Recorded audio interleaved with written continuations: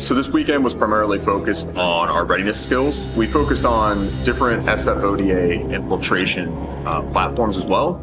Uh, so we did uh, fast rope insertion uh, or FRIES. Um, we also did static line, airborne operations, and our, our ground mobility team took the Joint Light Tactical Vehicle or JLTV out to do some training uh, elsewhere off of Camp Atterbury.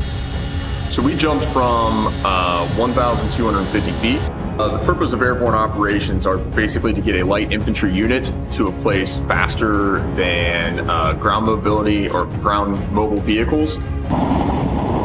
Helicopters typically they can put a, a fast rope right where you want it. It gets your it gets your soldiers out quicker. They're able to uh, assault an objective while on the objective, so they don't have to worry about going too far and, and expending energy. They just get there and go.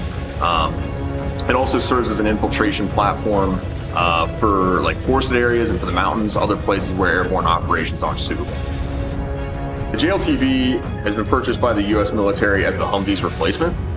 And then this was the first time they actually took them off road. The, the team that took them out did a really good job of trying to get them stuck as much as possible and, and working on recovery and seeing what their capabilities were. The reason we train on these things is to build confidence uh, and maintain those skill sets. To become a master of any craft, you have to have a lot of repetition in it.